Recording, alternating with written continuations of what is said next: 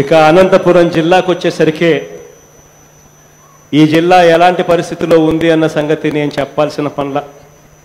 మీ జిల్లా మీ జిల్లాకు నేను మనవడిని.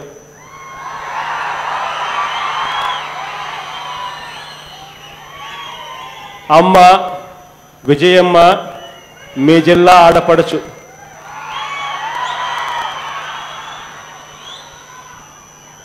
ఈ జిల్లా మనవడిగా మీ అందరికీ మరొకసారి చెప్తా ఉన్నా ఈ జిల్లా రూపురేఖలు ఖచ్చితంగా మారుస్తానని చెప్పి ఈ వేదిక మీద నుంచి మీ అందరికీ చెప్తా ఉన్నా.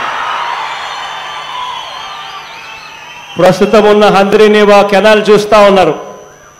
ఈ హంద్రీనేవా కెనాల్లో ప్రస్తుతం రెండు వేల రెండు వందల క్యూసెక్స్ కూడా నీళ్ళు డిశ్చార్జ్ చేయని పరిస్థితిలో ఈ కాలువ కనిపిస్తూ ఉంది.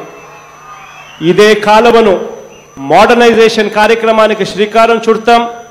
ఇదే కాలువలో ఆరు వేల క్యూసెక్స్ నీళ్ళను ఇదే కాలువలో ప్రవహింపజేస్తాం.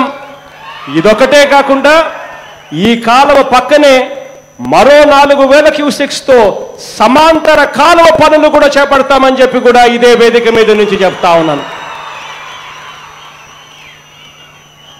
మీ జిల్లా మనవడిగా చెప్తా ఉన్నాను. ఈ జిల్లా సమస్యలు తెలిసిన వ్యక్తిగా చెప్తా ఉన్నాను. అన్ని రకాలుగా ఈ జిల్లాకు తోడుగా ఉంటానని చెప్పి మరొక్కసారి ఈ వేదిక మీద నుంచి హామీ ఇస్తా ఉన్నాను. ఇక ఈ జిల్లాకు సంబంధించి దేవుడు ఆశీర్వదించాడు. పది సంవత్సరాలలో ఎప్పుడూ కూడా చెరువులు నిండడం అన్నది ఈ పరిస్థితిలో ఎప్పుడూ కూడా చూడాల. గతంలో ఆ దివంగత నేత ప్రీతమ నాయకుడు రాజశేఖర రెడ్డి గారి నాన్నగారి హయాంలో చూశాం.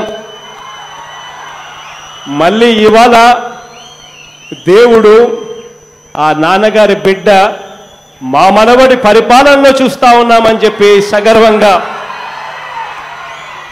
ఇక్కడి ప్రజల దగ్గర నుంచి వింటున్న మాటలు కూడా విన్నాం. మీ అందరి తోడు మీ అందరి ఆశీస్సులు మీ అందరి దీవెనలు మీ బిడ్డకి ఇవ్వండి.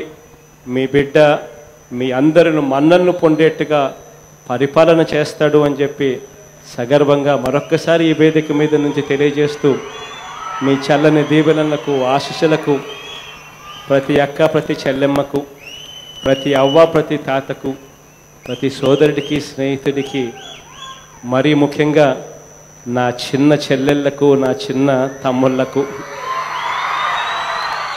అందరికీ కూడా ఈ వేదిక మీద నుంచి కృతజ్ఞతలు తెలుపుకుంటూ మీ ప్రేమానురాగాలకు ఆప్యాయతలకు హృదయపూర్వకంగా శిరస్సు వంచి మీ అందరి ఆప్యాయతలకు కృతజ్ఞతలు మరొకసారి తెలుపుకుంటూ సెలవు తీసుకుంటా ఉన్నాం.